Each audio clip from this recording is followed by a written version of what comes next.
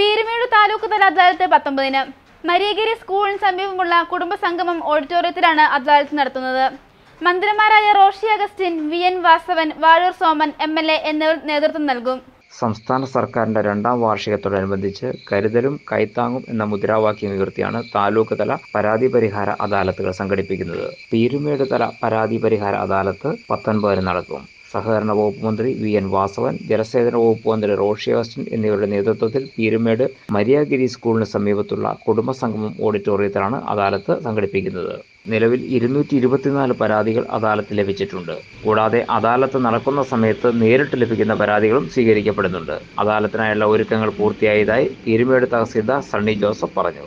പീരുമേട് താലൂക്കിലെ പരാതി പരിഹാര അദാലത്ത് നാളെ കുട്ടിക്കാനം കുടുംബസംഗമ ഓഡിറ്റോറിയൽ വെച്ച് ബഹുമാനപ്പെട്ട ജലവിഭവ വകുപ്പ് മന്ത്രി റോഷി അവേശിന്റെയും ബഹുമാനപ്പെട്ട സഹകരണ രജിസ്ട്രേഷൻ വകുപ്പ് മന്ത്രി ശ്രീ വി എൻ വാസവൻ അവരുടെ നേതൃത്വത്തിൽ നടത്തപ്പെടുകയാണ്. പീരുമേട് താലൂക്കിൽ നിലവിൽ ഇരുന്നൂറ്റി ഇരുപത്തിനാല് പരാതികളാണ് ലഭിച്ചിട്ടുള്ളത്.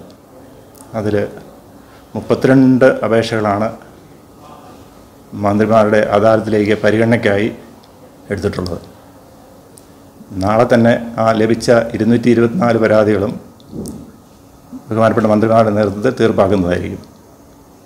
പുതിയ പരാതികൾ സ്വീകരിക്കാനുള്ള സംവിധാനവും അതിന്റെ കൗണ്ടറുകളും നാളെ തന്നെ സജ്ജീകരിക്കുന്നതായിരിക്കും.